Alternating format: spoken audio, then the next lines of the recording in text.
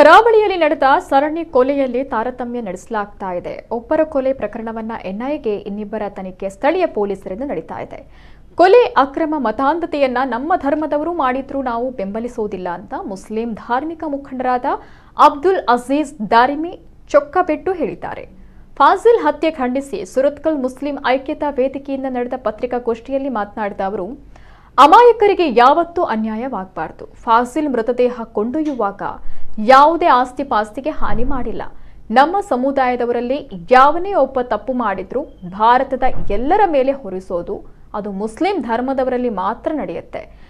ಮೂವರ ಕೊಲೆ ಪ್ರಕರಣದಲ್ಲಿ ಸರ್ಕಾರ ಸಾಂತ್ವನ ಹಾಗೂ ಪರಿಹಾರದಲ್ಲಿ ತಾರತಮ್ಯ ನಡೆಸಿದ್ದು ಕಣ್ಣಿಗೆ ರಾಚುವಂತಿದೆ ಮುಖ್ಯಮಂತ್ರಿಯಾದವರು ಜನರನ್ನ ಪ್ರತಿನಿಧಿಸಬೇಕು ಹೊರತು ಯಾವುದೇ ಪಾರ್ಟಿ ಅಥವಾ ಸಮುದಾಯವನ್ನಲ್ಲ. ಮೂರು ಪ್ರಕರಣದ ತನಿಖೆಯನ್ನ ಎನ್ಐಎಗೆ ವಹಿಸಬೇಕು. ಕೊಲೆ ಕೃತ್ಯ ಯಾಕಾಗಿ ನಡೆದಿದೆ ಎನ್ನುವ ಸತ್ಯಾಂಶವನ್ನ ಜನತೆಯ ಮುಂದಿಡಬೇಕು. ಇಲ್ಲದೆ ಹೋದಲ್ಲಿ ಉಗ್ರ ಪ್ರತಿಭಟನೆಯನ್ನ ಮಾಡಲಾಗುತ್ತೆ ಅಂತ ಅವರು ಎಚ್ಚರಿಸಿದ್ರು.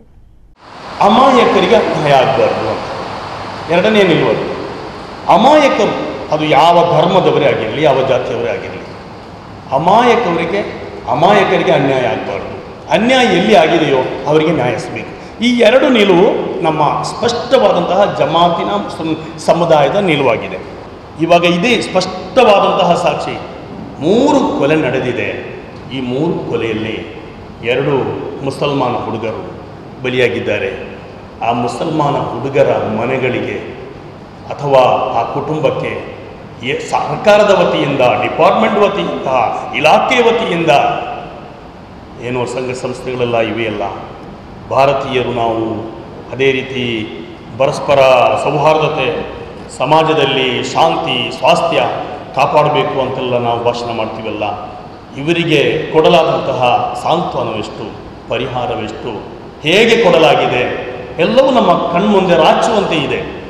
ಇಲ್ಲಿ ಪರಿಹಾರ ನೀಡುವಾಗ ಅಥವಾ ಈ ಪರಿಹಾರದಲ್ಲಿ ತಾರತಮ್ಯ ಮಾಡುವುದಿದೆಯಲ್ಲ, ಇದು ಹೇಗೆ ಸಾಧ್ಯ? ಜನಪ್ರತಿನಿಧಿ ಅಂತ ಹೇಳೋದು ಮುಖ್ಯಮಂತ್ರಿ ಆಗಲಿ ಅಥವಾ ಬೇರೆ ಯಾವ ಆಗಲಿ, ಅವರ ಬಗ್ಗೆ ಹೇಳೋದೇನು?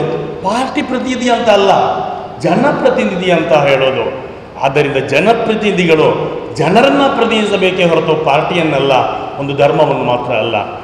ತನಿಖಾ ಎನ್ ಐ ಎ ತನಿಖೆಯಲ್ಲಿಯೂ ಕೂಡ ಯಾರು ತನಿಖೆ ಮಾಡಬೇಕು?